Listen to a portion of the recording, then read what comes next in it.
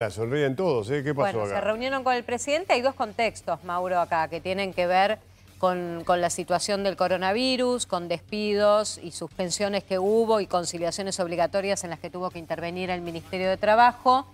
Y eh, el tema del gesto de Alberto Fernández a Hugo Moyano, hubo y rigideces. Lo escuchamos a Daer. Dale. forma institucional, la Confederación General del Trabajo, a reunirnos con el señor presidente, fue manifestarle el total apoyo a las medidas que se han tomado y que se vienen tomando y que están transcurriendo en estos días, tanto la cuarentena como las demás medidas que tomó eh, en uso de los poderes que le confiere eh, el estatus de presidente, saber que estamos transitando esto de la mejor forma posible y en forma diferente quizás al resto del mundo, eh, en reconocimiento de eh, no solo lo, la acción en contra y para enfrentar la pandemia, sino también en la relación con eh, tanto el empleo como el trabajo o como la, la decisión de haber suspendido la utilización del término de fuerza mayor en las suspensiones y en los empleos. Por supuesto, eh, aparte de haber mm, tenido por parte del presidente de, todo el desarrollo de, de, de, cómo se piensa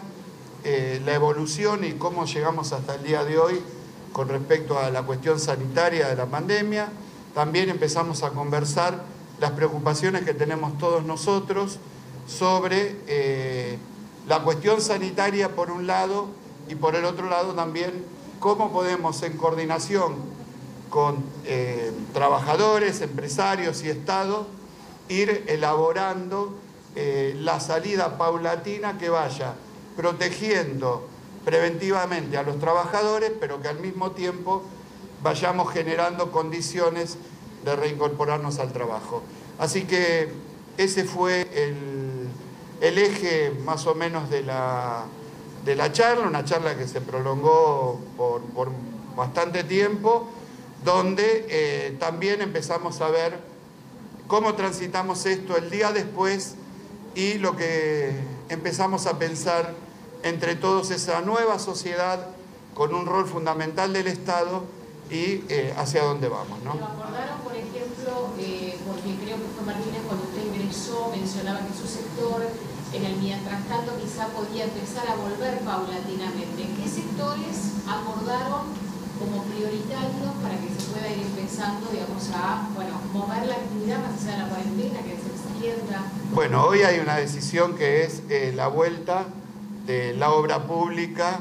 eh, pero también con mecanismos que eh, sectorialmente lo tendría que resolver el compañero Gerardo Martínez con la UOCRA, con los empresarios del sector para eh, eh, no, no, generar la, la, cuestión que todos queremos esquivar, que los mm, medios de comunicación vayan repletos de gente que son la primer fuente de contagio. Así que, que bueno, quedamos todos en elaborar eh, pautas para diferir turnos, para que no sea un embudo el ingreso al empleo, sino que podamos de alguna manera ir generando eh, turnos en distintos horarios para eh, ir paulatinamente tomando todas las precauciones, pero ir abriendo esto. Hay, hay, para, hay, una cuestión importante que las próximas, los próximos días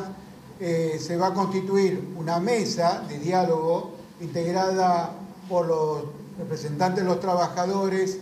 los empresarios, con la asistencia de sanitaristas para que nos den las contingencias sobre la base del protocolo y ver de ahí en más de qué manera se pueden ir viabilizando una apertura para distintas actividades, pero sin olvidarnos, como un tema fundamental, de cuidar la vida y la salud de nuestras trabajadoras y de nuestros trabajadores.